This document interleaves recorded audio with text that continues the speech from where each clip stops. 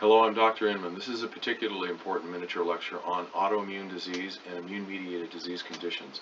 This is a situation where the body has decided to become allergic to its own tissue.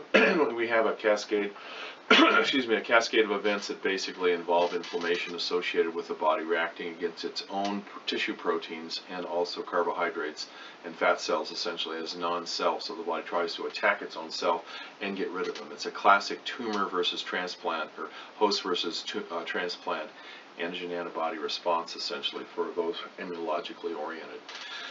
The condition essentially can be treated and is treated in the veterinary field with immune suppression. We suppress the immune system, we decrease the clinical symptomology, but that's just not solving the problem. That's just kind of covering up with this disgusting and expensive band-aid that's eventually going to kill the animal. So what we do is we endeavor to take away that immune-mediated response associated with that particular condition. We will use frequent frequency-specific low-level laser therapy.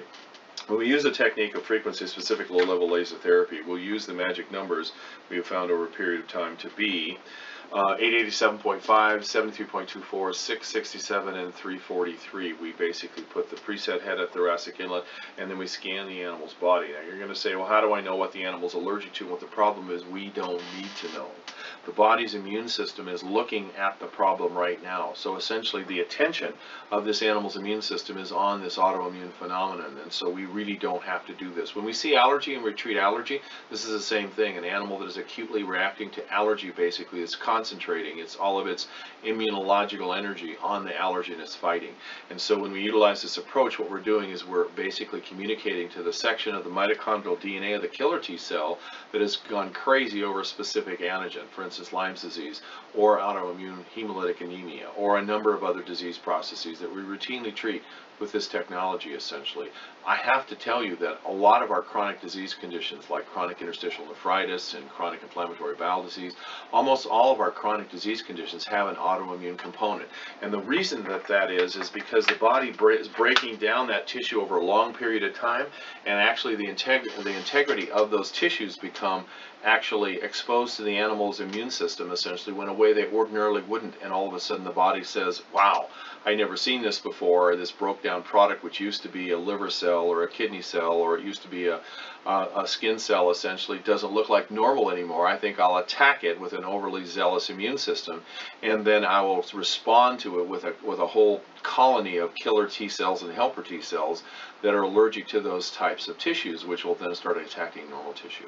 So what we're able to do is we're able to deprogram immune-mediated disease conditions uh, involving autoimmunity.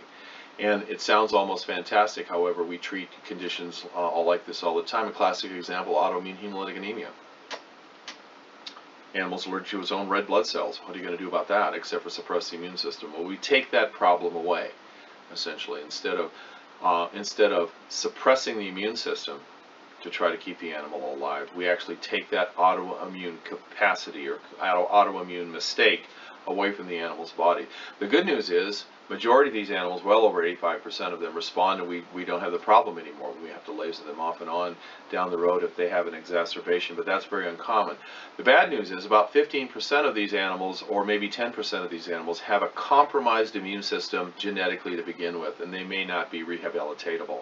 However, for 85% of these animals, and the condition is so incredibly common for all of our chronic disease conditions, we will add an autoimmune phenomenon um, uh, autoimmune set of frequencies using frequency-specific laser therapy. About 70% of all of the cases that I get on the phone for, refer for referral are in fact essentially uh, chronic disease conditions that have an immunological component. So we throw in this set of frequencies along with the other frequencies that we use, and very commonly that will resolve the problem extensively. So we find that it is very, very, very commonly undiagnosed or unrecognized, and of course there is no treatment except for immune suppressing that is currently known in allopathic medicine, but when we start to look at frequency-specific laser therapy, we're able to pluck this immune, uh, immune, immunological mistake away from the animal and give this animal's uh, immunology or immune system uh, uh, kickstart, if you will, and put it and reset it back to its normal level, essentially.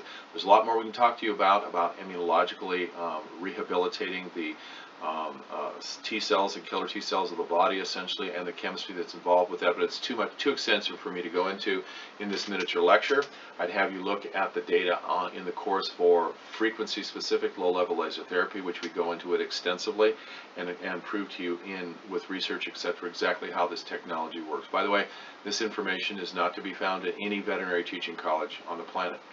Uh, and we have over 800 practitioners that are veterinarians in the United States that are currently using this technology at this very moment.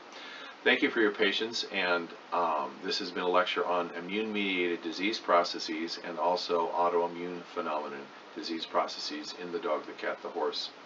Thank you, and have a great day.